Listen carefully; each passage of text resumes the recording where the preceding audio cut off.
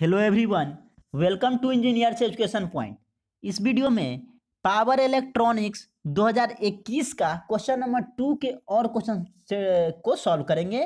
ये आपका थायरिस्टर से रिलेटेड क्वेश्चन है। क्वेश्चन क्या है देखिए? टू का और में टू का और का एक क्वेश्चन है। Explain the constructional detail of a thyristor 2021 में ये पूछा हुआ क्वेश्चन है। थायरिस्टर का कंस्ट्रक्शनल डिटेल के बारे में एक्सप्लेन करना है। कैसे उसका कंस्ट्रक्शन होता है? तो देखिए थायरिस्टर क्या होता है?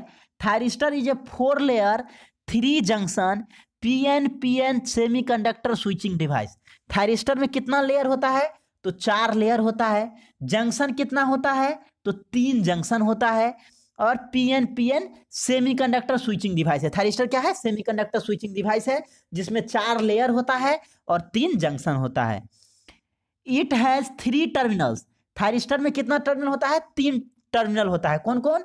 Anode, cathode and gate. तीन टर्मिनल होता है थायरिस्टर का, एनोड, कैथोड और gate.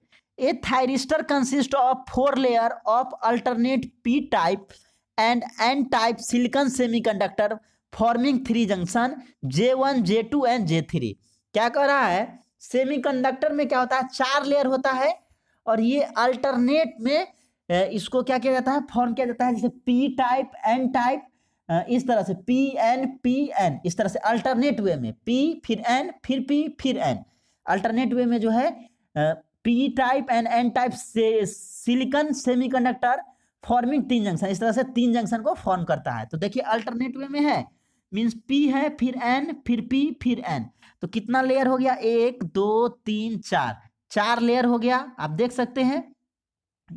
ये आपका स्केमेटिक डायग्राम है थायरिस्टर का। तो यहाँ पे आप देख सकते हैं, ये चार लेयर हो गया पी एन पी एन चार लेयर है, और जंक्शन कितना है? तीन जंक्शन है जे वन जे टू और जे थ्री तीन जंक्शन है, और तीन टर्मिनल है। थायरिस्टर में कितना टर्मिनल होता है? तीन। कौन कौन? एनोड गेट और कैथोड एनोड गेट और कैथोड अब अगर हम लोग बात करें तो गेट जो होता है गेट टर्मिनल वो नियरर टू कैथोड होता है। क्या होता है? यूजुअली जो है नियरर टू कैथोड होता है एनोड से दूर होता है। ये इसका सिंबल हो गया थायरिस्टर का सिंबल हो गया। ये जो देख रहे हैं, ये एनोड टर्मिनल हो गया, इधर आपका हो गया कैथोड टर्मिनल और ये गेट टर्मिनल, तीन टर्मिनल हो गया, ये सिंबल हो गया थायरिस्टर का। वही चीज़ कर रहा है, gate terminal is kept near the cathode terminal. Gate terminal को जो है, कैथोड टर्मिनल के नज़दीक रखा जाता है। कैथोड टर्मिनल के नज़दीक रखा जाता है। आगे देखिए, the terminal connected to outer N region is called cathode. Outer N region से जो कनेक्ट किया जाता है, उसको क्या बोला जाता है? उसको कैथोड टर्मिनल बोला जाता है। देखिए, आउटर, ये आप देख रहे हैं, ये ये आउटर एन रीजन से कनेक्ट करते हैं तो उस टर्मिनल को कैथोड बोलते हैं। आउटर पी रीजन से कनेक्ट करते हैं, उस टर्मिनल को एनोड बोलते हैं। और इनर पी रीजन से कनेक्ट करते हैं, उस टर्मिनल को गेट बोलते हैं। मीन्स आउटर पी, ये आउटर मीन्स बाहरी वाला हो गया। आउटर पी टर्मिनल को क्या बोलते हैं? Anode.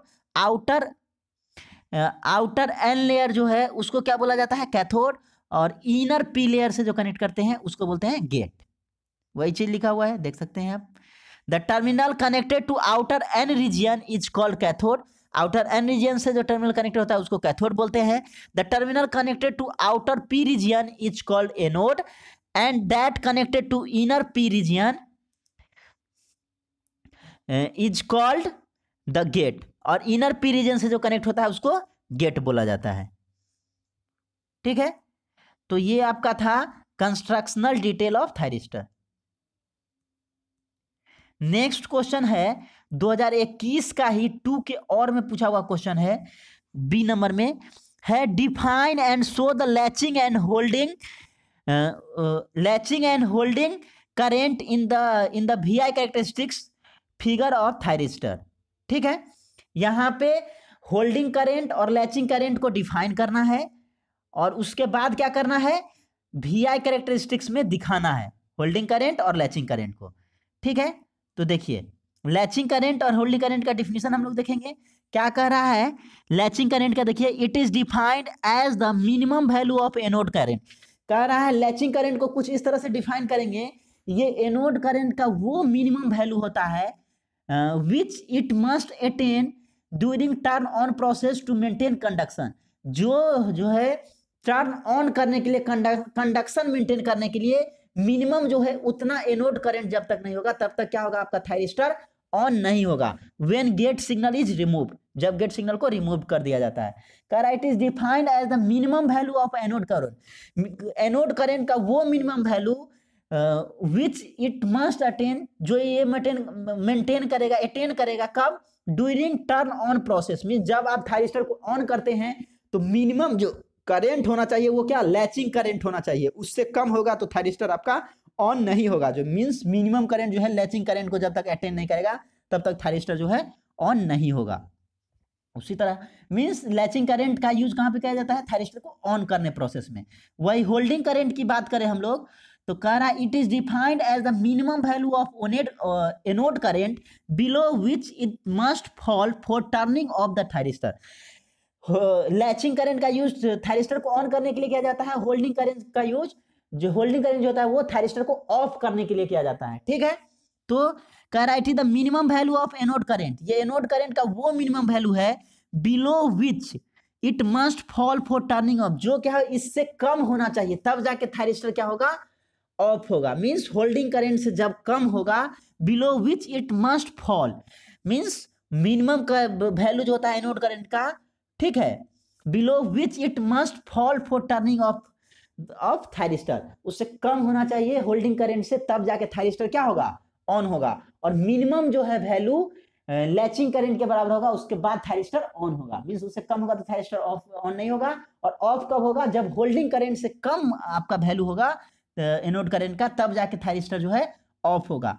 और लैचिंग करेंट जो है ग्रेटर देन होता है हायर देन होता है होल्डिंग करेंट ये क्वेश्चन भी आपको ऑब्जेक्टिव में पूछता है which current is which is larger तो लैचिंग करेंट जो होता है, याद रखिए latching current is greater than या higher than holding current latching current का यूज़ थायरिस्टर को ऑन करने के लिए किया जाता है होल्डिंग करेंट का यूज़ थायरिस्टर को ऑफ़ करने के लिए जाता है। मिनिमम इतना करेंट होगा, उसके बाद जो है थायरिस्टर ऑन होगा और इससे कम होल्डिंग करंट से कम करंट होगा एनोड करंट उसके बाद थायरिस्टर जो है ऑफ़ होगा। तो ये हम लोग देख लिए इसका दोनों का डिफिनीशन लैचिंग करंट और होल्डिंग करंट का। अब इसमें कह रहा है V I characteristics figure of thyristor जिसमें आपको होल्डिंग करंट और लैचिंग करंट को दिखाना है। तो ये आपका डायग्राम रहा। देख सकते हैं? यहाँ पे आप देखिए, ये आपका लैचिंग करंट है और ये होल्डिंग करंट है तो लैचिंग करंट क्या है? ऊपर है, ग्रेटर है मीन्स और होल्डिंग करंट नीचे है तो लैचिंग करंट जो होगा लैचिंग करंट वो हमेशा ग्रेटर देन होल्डिंग करंट होगा। तो ये वी आई कैरेक्टरिस्टिक्स है, आप देख सकते हैं। V I static I V या वी आई बोलिए कैरेक्टरिस्टिक्स ऑफ़ थायरिस्टर है, जिसमें डिफरेंट सारा चीज़ को बताया गया है, बहुत ही इंपॉर्टेंट है। इस तरह से आपको बना देना है, और ये इस तरह से यहाँ पे ये रिवर्स ब्लॉकिंग मोड है। यहाँ पे ये रिवर्स लीकेज करंट को दिखाया गया है। ये फॉरवर्ड ब्लॉकिंग मोड है। फॉरवर्ड लीकेज करंट है। यहाँ पे जो है लैचिंग करंट है होल्डिंग करंट है। इसी को दिखा देना है। ठीक है?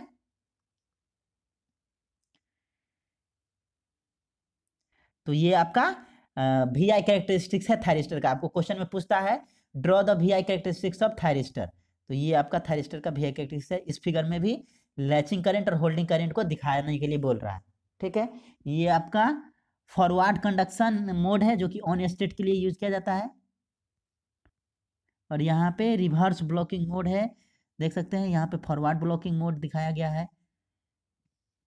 तो इस तरह से हम लोग दो क्वेश्चन को दिए। देखे, पहला 2021 का, दूसरा का और क्वेश्चन था, उसको हम लोग देखे।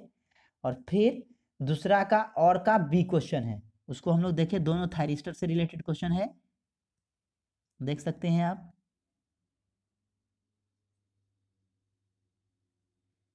Thank you for watching this video thank you so much